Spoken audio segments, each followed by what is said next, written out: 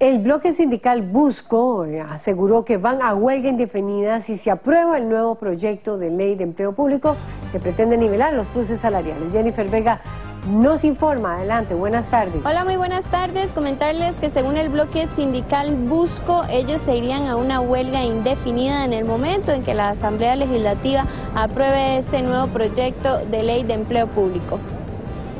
Las anualidades son un derecho. Esa es una de las razones que dan los sindicatos para estar en contra del proyecto de ley de empleo público. Decimos un no al combo de proyectos contra el empleo público.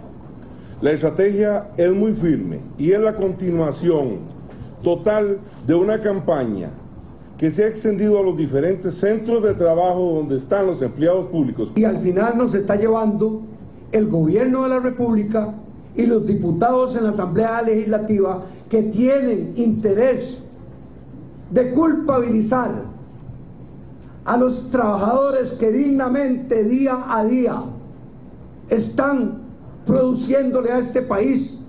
Según el bloque sindical Busco, ellos se irán a huelga indefinida en caso de que los diputados continúen con esta iniciativa.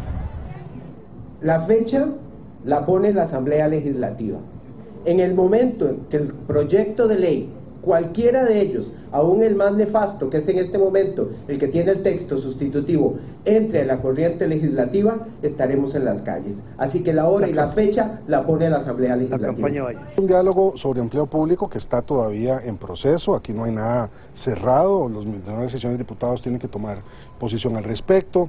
Nosotros hemos dicho que se necesita ese diálogo, que no puede haber decisiones que se tomen al margen de una discusión razonable sobre los espacios que, tiene el movimiento eh, social. Creo que la protesta sigue siendo un derecho eh, democrático, pero me parece que antes de llegar a ese tipo de medidas se tienen que agotar todos los mecanismos y, y no creo que se hayan agotado por el momento. En el movimiento de huelga estarían involucrados médicos, profesores y, según Busco, la mayoría de los trabajadores del sector público. Compañeros y amigos televidentes, es todo por el momento. Vuelvo con ustedes al estudio principal. Buenas tardes.